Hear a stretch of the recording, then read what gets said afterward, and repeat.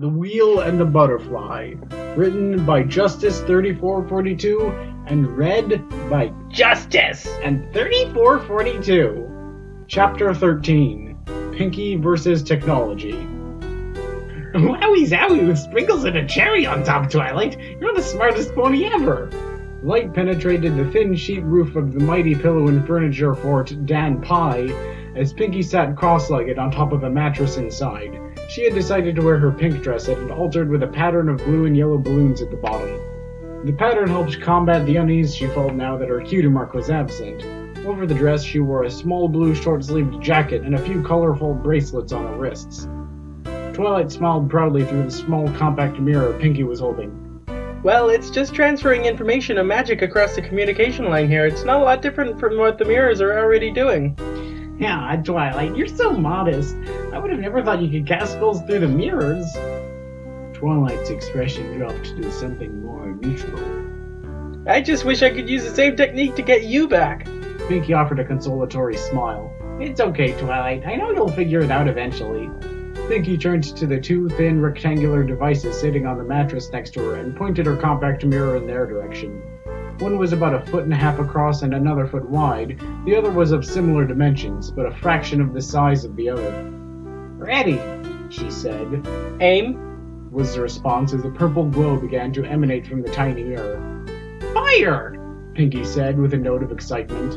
A small purple energy beam fired out from the mirror and hit the two devices, which began to glow with the same purple light.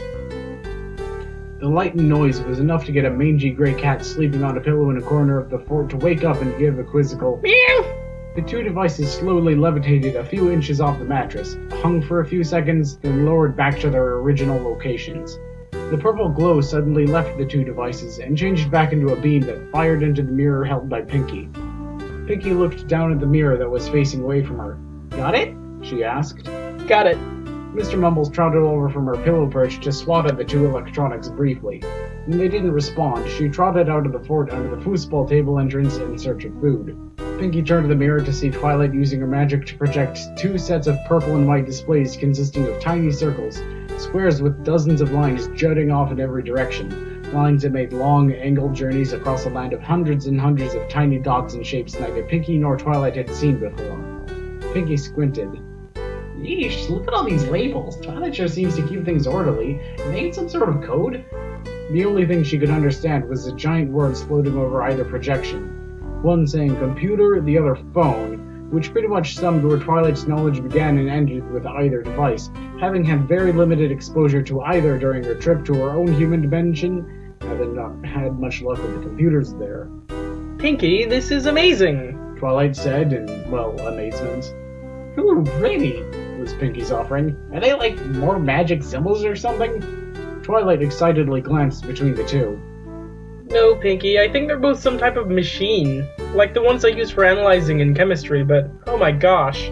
Twilight was beaming with excitement at this point. Just way, way beyond anything in Equestria. Pinkie frowned. Technology wasn't her strong suit. Dan had spent hours and hours explaining the television the two had embedded in the side of Fort Dan Pie. In Dan's case, this meant hours of lecturing while Pinkie struggled to stay awake, and Dan provided cross sections and excruciatingly tried to describe every minute piece. The whole experience left Pinkie with a desire to not concern herself with so much of the workings of all the new pieces of equipment she had seen before. Well, maybe Twilight explaining it wouldn't be so bad. What's all that code you have there, Twilight? Pinkie asked about the numbers and letters that both displays seemed absolutely littered with. Twilight glanced back towards Pinkie. I'm glad you asked. Twilight said with a wide-eyed enthusiasm. You see, Pinkie, my magic detection spell can only tell me things using my own frame of reference. I don't know how, what many of these things are because I've never seen them before. However, I do understand molecular structure and chemical compounds that can be used to create devices such as these. Oh no! What you're seeing is actually a combination of my magic and understanding of the building blocks of all these components, labeling all the components of the devices. In fact, my magic and brain are working in tandem to help me understand brand new chemical compounds never before discovered in Equestria. What have I done? The code you're seeing is actually the string of periodic elements that compose all the myriad tiny elements of these devices. Furthermore, my knowledge can break these down into their atomic weight, electron configuration. Oh no, please make it stop. Melting point, boiling point, vaporization, foot. Howdy, partners. Hope we aren't interrupting nothing. Oh, thank you, Celestia. Twilight turned, and Pinkie could make out with a tiny mirror that Applejack, Rainbow Dash, and Fluttershy were approaching the large stand-up mirror on their end. Hi, everybody. It's nice to see you all. Pinkie said with an uncharacteristically large amount of enthusiasm, even for her. Twilight glanced at her three friends. You four catch up. I've got science to do. Twilight said, trotting off to another part of the very large shop she had set up in Canterlot Castle. Still haven't figured out those computer whatchamacallits, eh? Rainbow Dash asked. No, Pinkie admitted. I tried pushing every button, asking nicely, asking not so nicely, demanding, screaming, threatening, begging, pleading, shaking. Pinkie looked away for a second and typed her chin, trying to will her spots with my latent psychic powers, she added, turning back to the mirror. So everything, really. So now it's Princess Egghead to the rescue, eh? Pinkie and Applejack shared a small giggle at Rainbow's new pet name for the lavender alicorn friend. Yep, Pinkie said with a grin. Twilight will figure them out for sure. How's that ornery roommate of yours treating you? Applejack inquired. Much better than he used to, I hope. Fluttershy added. Pinkie smiled warmly. Yeah, he's been nice.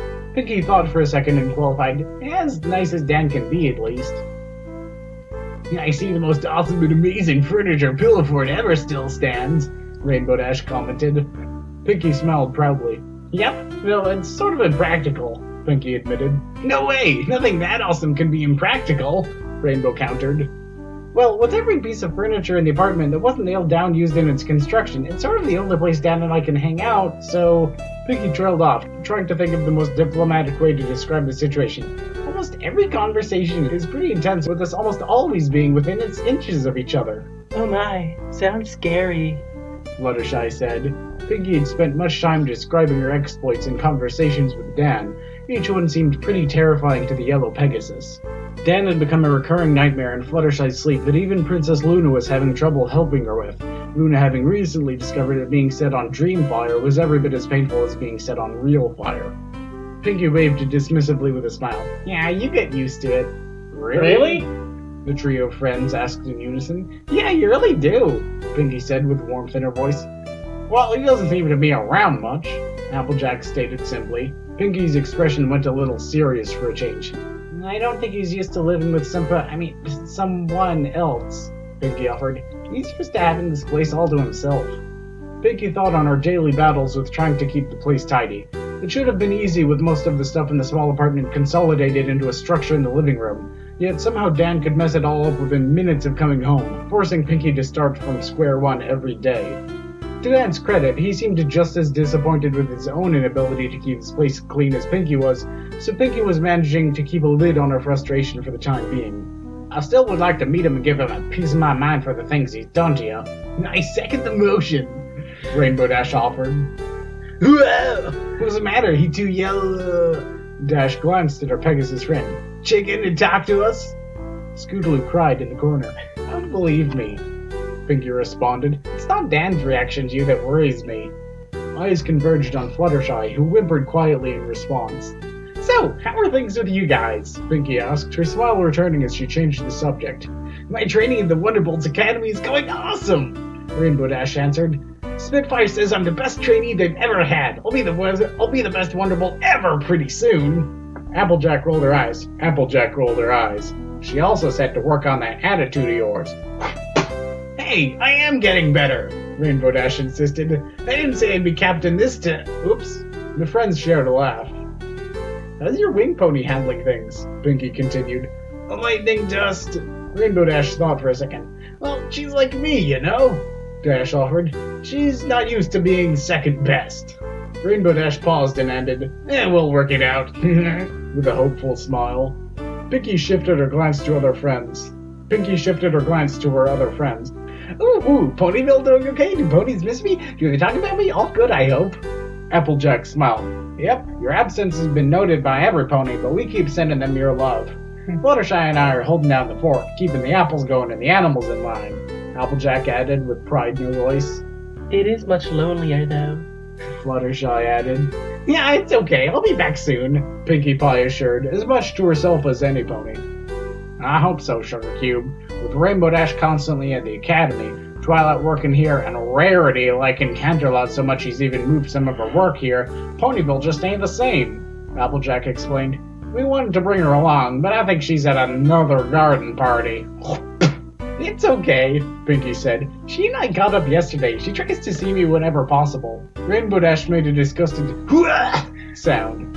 You mean she actually finds time away from her constant rubbing elbows with every fancy unicorn here? Yep, Pinkie giggled. She even finds time to make her dresses and sell them at exorbitant prices to the ponies here. They can't seem to get enough. Pinkie leaned in close to the mirror and whispered, Could you maybe tell her the next thing she needs to pay attention to is her sleep? I think she may be overdoing it a bit. Tell me about it. Fluttershy said. She took me to one of her fancy parties, and I had to hold her up nearly the entire time. Hold up there, partner, Applejack interrupted. Are you telling me Rarity actually invited you to one of her fancy shindigs?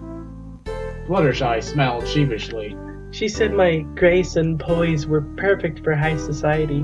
Fluttershy frowned. It was kind of fun until one of those fancy unicorns recognized me for my modeling time. Fluttershy shuddered with the memory of being crowded at the party, an experience that mirrored her brief and unpleasant foray into modeling. They couldn't leave me alone after that. Rainbow Dash grinned. Yeah, I bet Mr. Yeah, I bet Miss Fussy Hooves was pretty jealous. Not really. Fluttershy corrected. I think her friends like her even more now that they know she's best friends with an ex-model. Plus, she sort of passed out on the hors d'oeuvres table while every pony was hounding me. The four friends shared another big laugh. Pinkie cocked her head to the side as she heard footsteps slowly approach the apartment door, a familiar grumpy voice accompanying them. Ooh, gotta go. I love you all. Give Ponyville my love too, will ya? The trio waved through the small mirror. Well do, Sugar Cube. Applejack replied as Pinkie shut the compact mirror. Pinkie heard the door open as Dan walked in. Alright, I'll tell her, she heard Dan say. She saw the familiar face of her room slash fort mate lean down through the entrance. Get out of there, will ya? Dan said. We're heading out. Bop, the end. Comment, please. If you comment, I'll cry.